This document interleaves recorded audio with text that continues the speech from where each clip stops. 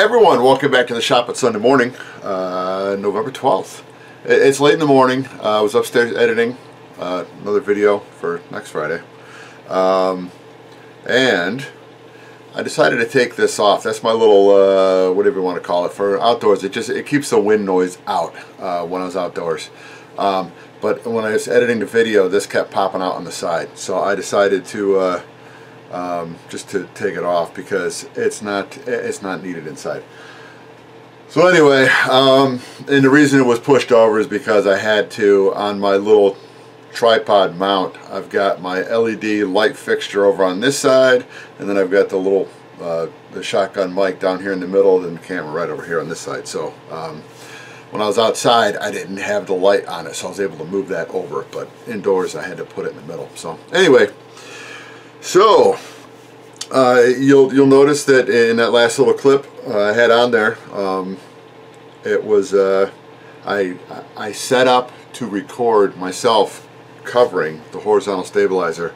Unfortunately, I didn't hit the record button, so the whole uh, uh, that whole footage never it doesn't exist. So anyway, um, it, it was easy to do. Um, it's no different than doing anything else here. Uh, it probably took me do each side, I don't know, maybe maybe an hour and a half for both sides, so it, was it was easy. So anyway, what we're going to work on today, let me pick the whole assembly up and bring it over here. What we're going to work on today is the vertical stabilizer. And the problem I had with the vertical stabilizer is I wasn't happy with the base on it. I wasn't happy the way the angles were on this. Um, so as you can see, now that I've got this all together, this elevator's stuck on. There's nothing I can. If I need to get that off for any reason whatsoever now, I've got to cut this all apart. So that's that's why I made sure that everything was done. I've got all my little repairs done, um, and I'm, I'm pretty happy with it.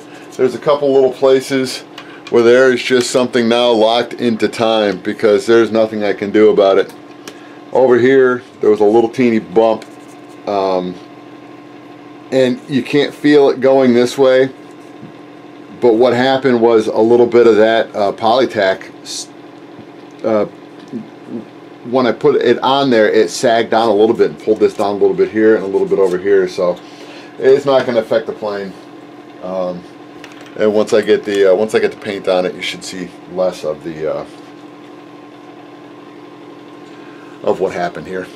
If not even on real airplanes when they uh, when they when they put the fabric on it uh, as well you, you, can see weld seams and everything else. So it's uh, something you don't want to have happen but it does happen. All right. Here is what I had to work with on this is that I had to bring this, let's see if I get a finger, I had to bring this farther out on the top so that I can get a good angle coming up. So this was a strip of balsa that went out to about here and you can see it and then it fades into nothing down here and then I had to sand some more of this off. Same thing on this side. It's just a small piece up on the top that goes up and then here it fades down but at least now I've got an angle. It's a good thing I was feeling that. I got to do a little bit of sanding right there. Um, I'm happy. I'm happy with the angle on this now. So this is ready to cover. I'm still trying to decide what I want to do up front. How I want to bring this down. Um, because what I'm going to do let's see if I can kind of sort of show you Alright, this is an over-exaggeration of what it's going to be, but because it's not going to come this far out, it's going to, what I'm going to do is I'm going to come in and uh, with some with some nitrate dope, I'm going to I'm going to dope a little strip down the middle and then I'm going to cut right on that strip so that way I don't have the ends fraying out.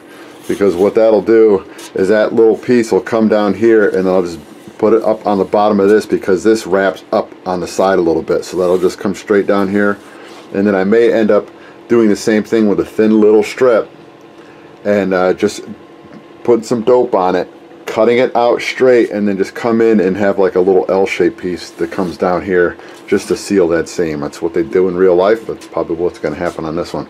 But anyway, I'm trying to figure out how I want to bring it up here. Let me get this set back up in the stand real quick because this is this is the this is the part of this covering job I'll figure this camera thing out one of these days. This is the part of the covering job that I've spent the most time sitting around trying to figure out how I want to do it because this is going to this is this is the hardest covering part on this whole plane is this right here on how I want that to look. So the rest of the plane doesn't take that much time to figure out how you want to do it. So anyway, when this comes in, this will come in and be set down like this. Now, when it comes time to wrap over the front up here, if I have this glued down on this edge, I've got to try to figure out how to make this curve. I think it'll work out okay. Have it go a little past half, cut a seam up, and then do the same thing on the other side and very carefully. Trim that out over here. Because the other option would be is if I came up here like this I can just round it off this way. And then when I come across with the top I can just do the same thing and just come across that edge and, and just flay it out and then have it drop down underneath. So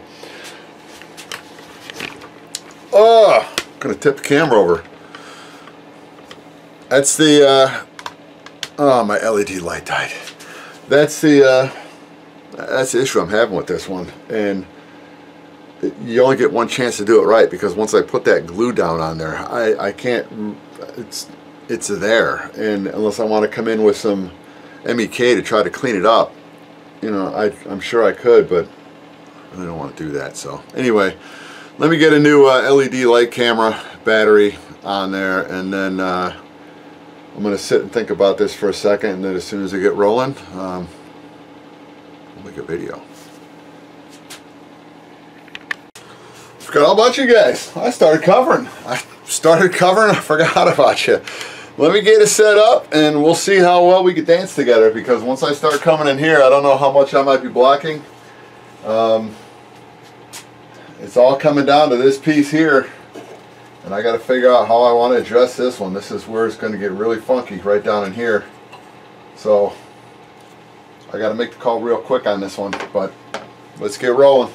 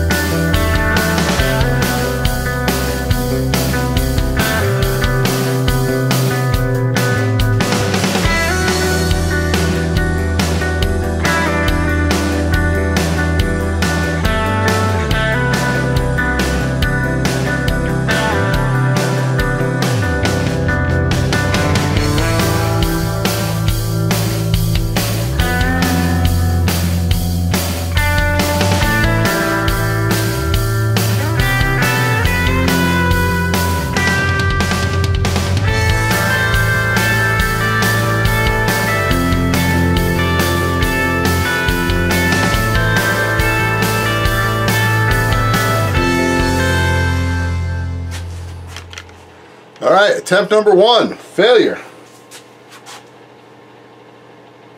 I'm still trying to figure that out because that is just such a weird compound curve and I can't pull on that curve the way I want to pull on it.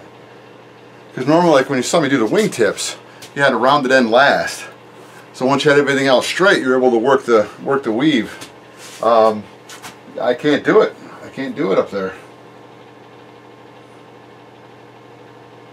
I gotta figure out how I want to do this one. So first attempt, not good. And hopefully I won't have to do too much cleanup to start attempt number two. That's why I thinned out I thinned out the uh, the MEK so it wasn't so thick and gloppy. So um, and with the thinner in it, it's going to take a little bit longer time for it to, to set up. Um, so that's why it was, believe it or not, it was actually it was easier. It was easier to pull off than than it would have been before, and it hadn't set up all the way. So it's just unfortunate that that's a that's a good piece of uh, good piece of covering that's, that's gone. It's done. So all right. Um, I don't know. Let me sit down and think about this one. I'm to think about this one, and then I'll, I'll bring I'll bring it back when kind of have an idea how I want to do it.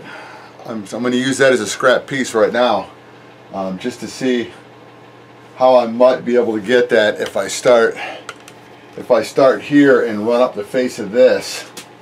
If I'll be able to wrap it around here. This might just have to be instead of doing it the way I want to do it.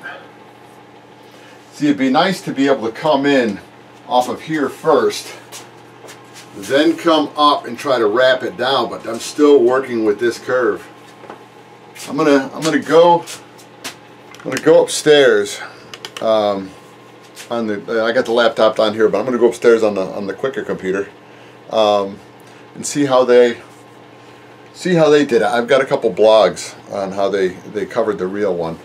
Um, I want to see how they did that tail section because this is not supposed to be this is not part of the real plane this is just balsa um, I've got my Piper Cub set up the way that this was set up but with the Cub it had a center rib running down the top of the fuselage so that was so you did this half of the fuselage up over the top then you did the other half and you had to fight it in the middle but you were able to get it so, um,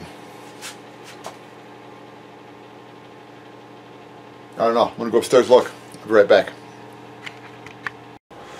Alright, I think I got it pretty much figured out here. Let's see how well this picture will show up to that video. I'll, I'll, I'll include this in the video. Alright, what they ended up doing was, just to kind of show you here real quick, for theirs, this comes in from here and goes up over the front to this port, part here. On the real plane, this is actually up a little bit farther forward. Um, and there's nothing I can do about that. And it's just the way that this ARF or this this kit was designed. This kit, yeah, I suppose a kit. Anyway, regardless, even the set of planes was designed. But this was a little farther forward up here. But anyway, what they did is this came across I'm hoping you're close enough. This came across like this from point to point on the uh, from where the from where the leading edge of the horizontal stabilizer uh, slid in. So this came across like this and then the rest of it came up and then they stitched this into place. So this was stitched into that. So that's where the dividing line was. On the real one, And as soon as I get this ready to go, let's see if you can see it you can see you can see that little teeny seam right there so that's how theirs was originally set up on the plane so and you can see that the leading edge of the, the uh, vertical stabilizer was a little bit farther forward than this one is compared to where the uh, to where the uh, horizontal stabilizer goes. Now like I said this is different from a real one. This is an RC plane and what they do is for stability, they usually increase the size of the tail, uh, especially the horizontal stabilizer, uh, about 10 to 15 percent from what the original one is. And all that does is because you're not in the plane, you're flying it from the ground, it's much harder to fly an aircraft from the ground than it is from flying inside of it because you don't know what the plane's doing. When you're up in a plane, pilots say you fly with your butt. That way you know what the plane's doing uh, just from the way you feel in the seat of the plane. Um, this you don't. You're standing on the ground so your gravity is, unless you're jumping up and down, it stays the same. So I mean the gravity, but your your acceleration on the ground. So anyway, so what I'm going to do is I was able to the piece that I had already cut, and uh, it's kind of straight. Um, the piece I had already cut and had to tear off, I'm going to use this piece again. Um, so this will, because luckily it was a big enough oversized piece. So I'm going to set this up on the top. I'm going to come on in. I am going to glue this back in just the way it was. And I'm going to leave this out. And then what I'm going to do is before I attach that, I'm going to come across here with a razor knife and cut this and glue this in before I pull it up over the top. So I'm going to kind of tack it in in the back side over here. Then I'll come up, and I don't know how well you can see this, it's going to make the curve but I don't know if I'm going to be able to do it from all the way up here or if I'm going to have to bring it back a little bit farther. Um, either way, that, uh, that, that will be my call as the time comes because if there is a little bit of excess material here, it can get pulled up when I shrink it. Hopefully. That's, that's kind of where I'm at. So I want to have as, as little as little loose material in this spot uh, as I possibly can. So let me go ahead, I'll move you back in a little bit closer um, just so you can kind of see and uh, let's try it again.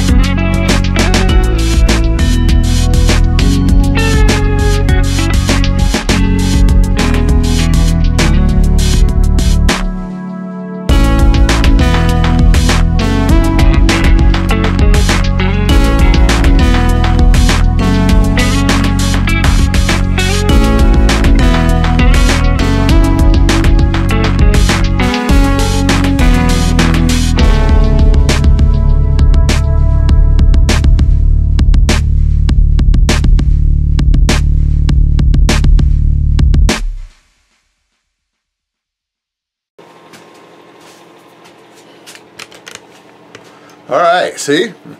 Internet's awesome, man. You always got to go check out and see what somebody else did. If you can, if you can find any kind of any kind of documentation when you're when you're rebuilding a plane, uh, you can find wonderful bits of info on the internet, and it was those pictures. See, that's the one part that I had never didn't pay attention to yet on uh, through the uh, through the guy's blog because I hadn't gotten to this yet. And I should had I checked out ahead of time, I would have known what I was going to have to do. So unfortunately, I was trying to clean that up by having that so there wouldn't be a seam here. But there's going to be a seam just like in real life. There's going to be a real seam here. So I've got the half, I got half of it done and you can see it's just very, it's, it's, it's loose, but very, very little. That's no big deal at all. So I'm not going to go ahead and tighten this side up. I'm going to spin the whole plane around and it's going to be kind of a really strange situation. I'm trying to work on it the other way. I might have to, I'll probably just have to move the camera around and everything and swing this end out that way uh, so I can get to it but I don't want to tighten this side up until I get the other side covered because if I tighten this side up right now it's going to want to pull everything that way and I don't want that to happen. So I will go on upstairs grab a little bit of food while this is while this is setting up. It's it's pretty dry right now um, but I wanted to I wanted to set up a little bit more. So I'll go upstairs, uh, grab a little bit of lunch, and uh, come on back down, and uh, let's get the other side done. And man, then it's just, uh, I just got to clean up a little bit up on the top uh, between the, you'll see it when the time comes. Um, so what I, if I can at least get this done today, because I know I keep saying I'm to get, I'm to get it finished. I'll get it covered on a Sunday. It's to be a Sunday. I just don't know which Sunday. Alright, we're back on this side of the building. Sorry about the look on my face, because that's going to hit. Alright, we got light. I, what I ended up doing, let me tone that down a little bit. What I ended up doing, here's bright. Man, that'll just cut your eyeballs in half. That's a little better just while I'm chatting to you. Alright, um, yeah, I had to wait till the uh, LED light battery changed. It just takes for hours. It took like four hours. So I went upstairs and uh, Made some lunch, took a nap. I didn't really try to take a nap, I just fell asleep. Anyway, let me get everything redirected back towards the plane, and then we're gonna see how nicely this is gonna, I don't know how well this is gonna work with me getting in your way, but it's what we got. Alright, let me juice up the brightness here a little bit, and uh, let's get rolling.